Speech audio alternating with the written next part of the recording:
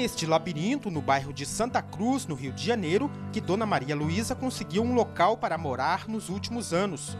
O banheiro não tem porta, no teto, o forro não existe. E para amenizar o calor vindo das telhas de amianto, só mesmo com o ventilador ligado. Trabalhando como costureira, ela criou os dez filhos, por isso nunca conseguiu dinheiro suficiente para comprar uma casa. Mas agora, prestes a completar 80 anos, a aposentada realiza o sonho da casa própria. Sempre sonhava minha casa, hein? eu quero ter minha, minha casa.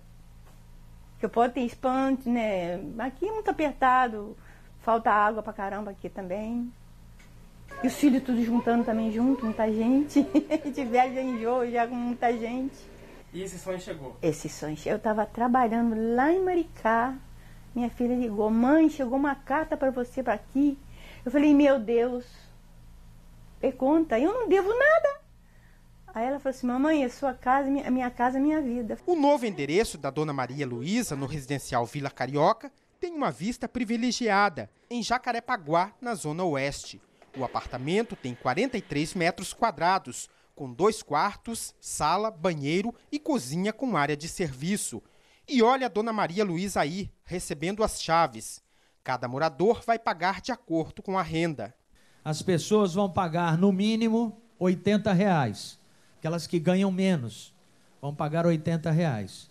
E quem ganha mais, quem vai pagar mais aqui nesse condomínio vai pagar 270 reais. Este condomínio é um dos legados dos Jogos Olímpicos e Paralímpicos do Rio de Janeiro. Aqui, os agentes da Força Nacional ficaram hospedados durante as competições de 2016.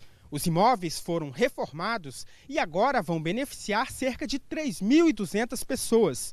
Os moradores vão contar com estrutura completa de saúde e educação aqui mesmo no bairro. Ao redor do condomínio foram construídas duas creches, duas escolas de ensino fundamental e uma unidade de saúde da família, que já estão funcionando. O governo federal investiu 60 milhões de reais nas 800 unidades entregues agora.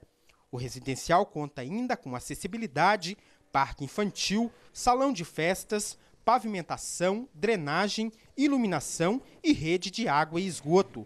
O empreendimento foi incluído no programa Agora é Avançar, que está finalizando mais de 7 mil obras que estavam paradas em todo o país. Ele vai fazer como estamos fazendo aqui, pelo Brasil afora, vai realizar a entrega de vários empreendimentos na área da habitação, na área do saneamento, na área uh, elétrica, na área de petróleo, enfim, todas as áreas para que nós possamos gerar empregos. O objetivo, além da melhora, é, sobretudo, a geração de emprego.